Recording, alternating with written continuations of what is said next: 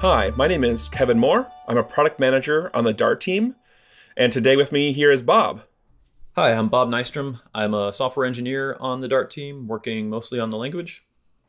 And we have cool language things to talk about today, right, Bob? So much cool language things to talk about. Null safety. Yeah, I feel like this is all we talk about. It's been um, it's been a long time coming, but we are we're very close to having the whole thing fully shipped and out the door, and I am very eager to have it done. As am I. And this is one of those things that, you know, you want to do correctly. So we've we've taken our time and we're making sure we're doing a good job on it. So maybe before we get into specifics of how Dart does null safety, can I kind of give the intro to null safety in general and the idea of null safety in languages? Yeah, so the you know the high level goal is with null safety, and this is something that a number of languages are doing now, is um, to avoid null reference exceptions at runtime and instead push those forward into compile time static checking. Um, so that's that's what we're doing. Uh, part of the reason it's taken us so long to do this on Dart is that we are taking that approach and we're pushing it farther than a lot of other languages in that the system we've built is fully sound. So the guarantee that we give you is if you've fully migrated your code to null safety, not only do you um, will you not statically get any null reference errors at runtime, but because this is a fully sound system, the compiler can take advantage of that fact. So we can use it for optimization purposes. So we will generate smaller code because we don't need to insert null checks, and we'll generate faster code sometimes because we don't have to box values. Um, so we're trying to, you know, we decided that if we're going to do this, we're going to try and get as much mileage out of it as we can, even though it makes it a much more difficult, larger design problem. So you kind of get it, I think of it at three levels, right? So level one is I get the red squiggles I expect in my IDE. So it tells mm-hmm. me if I'm doing something wrong, which is great, right? Just that is great from a kind of a productivity perspective. I can look at an API documentation and know if null is accepted. I don't have to guess. But then mm-hmm. we have level two, which is at runtime, assuming all the code has been migrated. Um, the runtimes will make sure that if null does th- flow through, that we get errors up front. Like it'll kind of babysit us at compile time. And then yeah. the third level is um, we actually get size and speed improvements potentially. Mm-hmm. That sounds great. Yeah, so the model that we have here here is not that there's not a moralistic tone where null is bad and you should feel bad for using it and we're going to stamp it out. It's more that you know we do feel that null is actually a pretty useful value, right? Like it's nice to be able to represent the absence of a thing. That comes into play in a lot of APIs. Um, so we're not trying to eliminate null. What we're trying to do is give you tools so that you can control and understand where null is going to flow into through your program, and in places where you've allowed null to flow into it, to make sure that you're using it in a safe way. That sounds great. Let's look at some code. I love code. Code is my All favorite right. part. Okay, so here's a an example here, and I'm glad you picked a coffee because you know these days it seems like I drink a lot more of it. So coffee's a great example. And it looks like if you look at the header here, it says, you know, Dartpad with null safety. So I guess if you're watching this video in a world before we've actually released this um, to the wild, you'll know that there's a special version of Dartpad now. We'll give you details in a bit um, that has null safety enabled. And this, what's crazy is, you know, this doesn't look like special Dart code or null, you know, anything new beyond, you know, um, the existing Dart. Like, so this is null safe code. Right. Yeah. So this is exactly what you would write before null safety. Um, and it is also uh, what you would write after null safety. Um, you know, our experience is that, you know, we've migrated a lot of code at this point is about 90% of your code just doesn't need any changes. So, you know, this is the code you would already have, but now you're getting fully safe static null checking. And by that, what we mean is, um, you know, you can see that in serve coffee, you have a parameter of type string without null safety in previous versions of Dart um, you would be allowed to pass null to that, and that's not a compile error, but it would fail at runtime when it tried to call the plus method on it. Once you've opted into null safety, that string type annotation does not include null anymore. That means literally only strings. Um, but because you are passing a string to it here, this code is still correct and it still does what you want it to do, except now you have the static guarantee that that plus method that you're calling on temp is never going to throw an exception. Cool. So let's um, throw a wrench in here maybe. Maybe I'll just make this a um, let's copy this and let's do maybe an optional value because by default, in Seattle at least, um, the default is usually warm coffee. So I've made my parameter here optional and I'm getting a warning. So what's going on there? Or an right. error? Yeah, so this, this is a good example of where we say, you know, it's not that we think of null as being bad, optional parameters are a good case where you can see that having the absence of a value is a useful thing for an API to express. Um, but now you're saying something confusing to the compiler, right? So you're saying, I want this parameter to be optional, which means that when you don't pass it, the, the value null is going to come in. But you've given it the type string, which doesn't permit null. So the compiler's like, I don't understand what you're trying to say here. So you need to kind of clarify things for me and tell me what you actually want. So I, I mean, the simple thing I'm thinking here is right is like I want hot coffee, right? Mm-hmm. And so that seems to fix things. And honestly, what what makes me happy here is, you know, I would use named arguments or positional arguments, and then there's paranoid part in the back of my brain, which is like, I probably should still check for null even if I pass the value in, but I don't have to do that anymore, right? Right. Yeah. Now null will never come in there. Cool. But let's say we we're not going to be quite so sophisticated and actually, so I need to actually change the type here and say, oh no, like the string might be null, right? It might not be provided. Yeah, so yeah, so another option if you don't want to stick in a default value is you can say like, yeah, I actually do want to allow null to flow in here. I want to say that null is a valid value for this temp parameter, and then in the body of my code, I'll handle that. Cool. So it looks like that works, but obviously now we have the problem, which is this value might be null, and we're getting an error, which is what you'd expect. So you'd see this in your IDE as well, um, right. that I can't add null and a string together, which makes lots of sense. Right. So it's you know by making something nullable, you were claiming that you will handle it, but clearly here we've not handled it, and the compiler is telling you you didn't. So the naive thing I think I could do, which is, you know, if this equals null, I guess return hot mm -hmm. coffee. Yep. So dynamically, this is exactly the kind of code you would write before, and you would write without any static checking for for null safety. And um, with the null safety feature, that same code is exactly what you write now and it does what you want. So there's actually some cool stuff going on over the under the hood here, right? So um, we do control flow analysis over local variables and parameters. So what we can see here is the compiler is smart enough to know that if temp is null, then that if statement, the body that's going to execute, and it will always return, which means you'll never get to the last statement in that serve coffee function unless temp is not null. So then it automatically promotes that parameter to having a non-nullable type, and then it lets you call methods on it on it again because it knows it's statically safe to do that. So if I ever, if I comment out this return statement, mm-hmm. Boom, right. the error comes back because this might be a null thing, and I can't add null in a string. Yeah, now it's saying there is a path, at least one path, where that code can be reached and temp is null. So maybe maybe I'm doing argument checking here, and I could do you know throw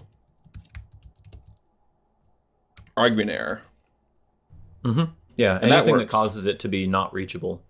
But obviously, I can't do you know return null here because yeah, this is not type return null. type. Mm-hmm. Now, could I even be? I mean, and even to me, you know, I like having code with fewer return statements. I know, I know it's kind of an option, but could I go in here and just do this? Try it.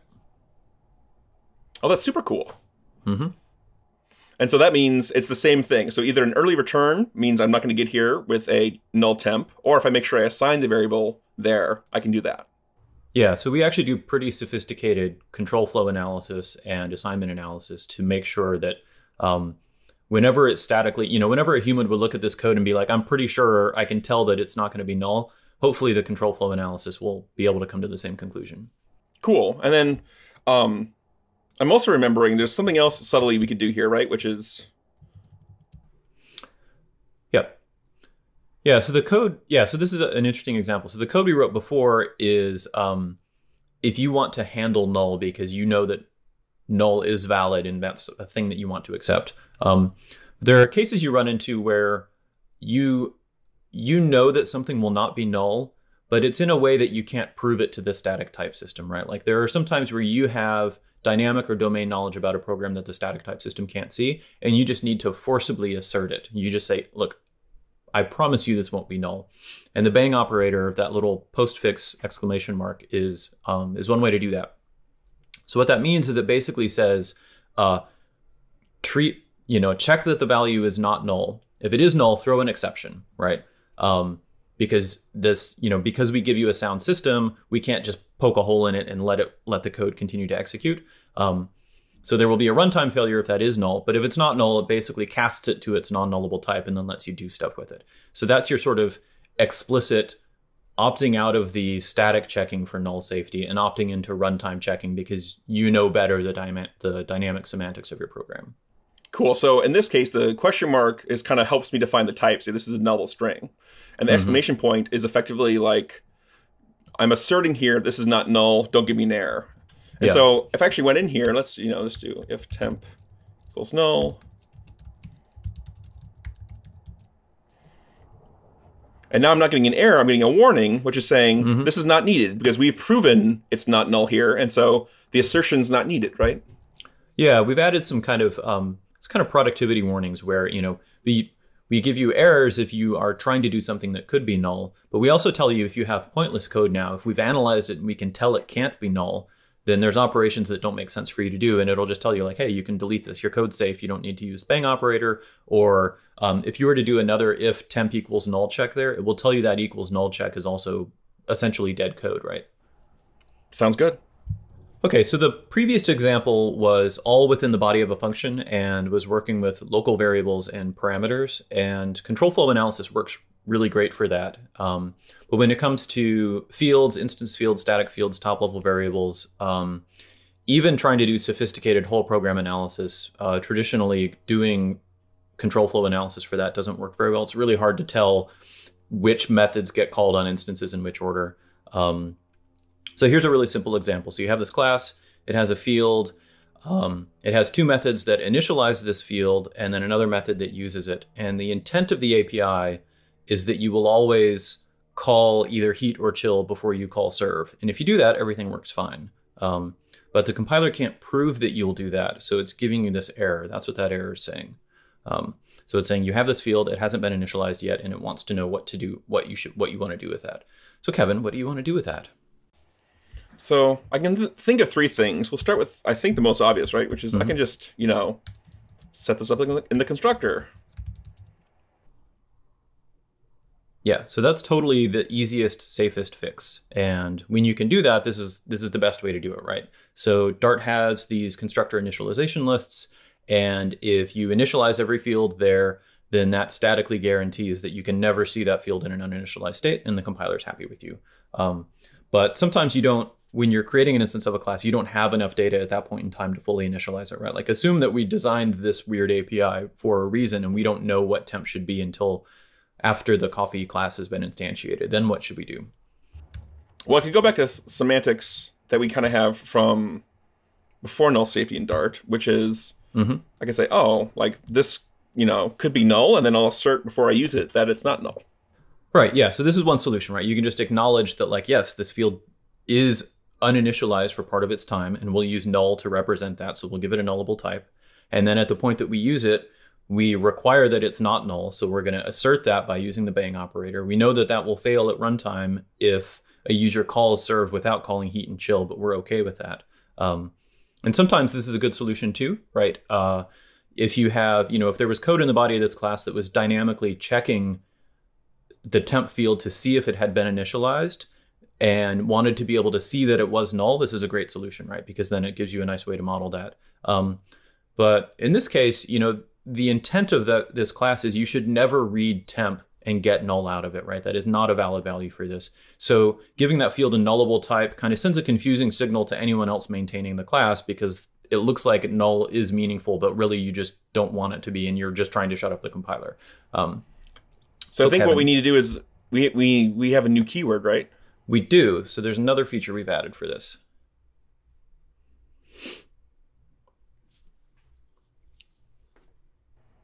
Late.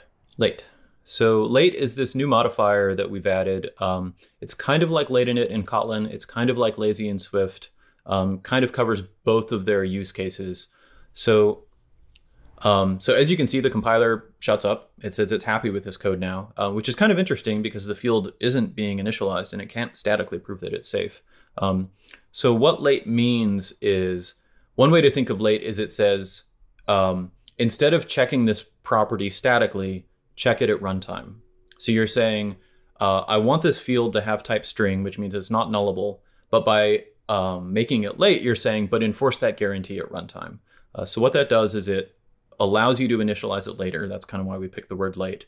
Um, but if you read it and it has not been initialized yet, that will throw a runtime exception, right? So it's almost as if every use of temp in the body of the class gets into a sort of automatic bang operator appended to it, right? So Um, this I could still get a runtime exception here, Mm-hmm. So that can fail, right? So the reason we make you write the word late is we want we want you to know that you have to opt into this because it is something that could cause a runtime failure. But I can't, you know, go in here and do temp equals null. Right. So that's this the cool thing the about thing using yeah. late instead of using string question is the compiler knows that you don't want null to be a valid value for this field, right? So it won't let you initialize it with null because you said no, it's just a string. That's super cool. So maybe we can go through kind of do you want to summarize the language bits we discussed today? Yeah. So the way the way I look at this, the way on you know we on the language team look at this is adding null safety to the language. At first, you think of it as just well, we're just adding static checks to the compiler, and it's stricter and it yells at you more, um, and that gets you part of the way there. That gets you a language that gives you null safety, but it doesn't necessarily give you a language you can use, right? So we start with that, and then what we did is we um, layered on a couple of extra usability features, right? So we have the bang operator, there's the late modifier, um, there's the control flow analysis we do and the type promotion based on that, which is a really big part of the usability story. Um, there are a couple of other features too that we didn't get into, like required named parameters, um, probably some other stuff that I'm forgetting. Final so late is pretty cool. What's that? Final oh, yeah. or late final? Yeah, so you can apply the late modifier to final fields, and then you get some interesting checking there. Um, we do definite assignment analysis. So the intent here then, if we do our job right, is we give you the, the safety and the performance of a sound non-nullable type system, but then we also still give you most of the usability that you had before where you can kind of just write code that works the way you expect it to work in an imperative language and it you just you know you just get better static guarantees and performance while you do that. That so, sounds great. Yeah, so that's nice. Uh, the tricky part though is that you know Dart is already in the wild and there's millions and millions of lines of code out there. So that's that's the other real big challenge for us. Right. So it's important for people to know that we're working on a model here where obviously we have lots of Dart code in the wild. So how do you get your code to null safety? So depending on when you're watching this, um, we might be in a different spot. And so we have a website you can go to to see what the current story is. Um, the first thing we want to let people know is you can run what we call mixed mode code, which is you can have code that has been migrated to full null safety, and then in your own package or packages you depend on or packages you know code that depends on your package they don't have to be migrated yet to null safety so we do allow mixed mode um, there are some trade-offs there obviously you don't get full soundness in that case so you don't get all the runtime guarantees that you want, and obviously any kind of speed improvement or size improvement. And we have some really good size and speed improvements already. Um, those won't come until everything is fully migrated to null safety. But you can mix and match, and we have tooling that should make that easier, um, both in terms of helping you migrate your code and also just understanding, you know, if your dependencies have been migrated, you can look on the package site to see if a package has been migrated. So we try to make that easy. Um, and we'll have more information on tools and packages, um, things on the package site later, as well as obviously we've uh, have a version of Dartpad you can use now that has null safety enabled and you can play with. So all the details will be available whenever you're watching this at dart.dev slash null dash safety. That page will have information about the current state of things and how you can enable Dart safety in your code. So for Bob, uh, I'm Kevin. Thanks for watching. Thanks.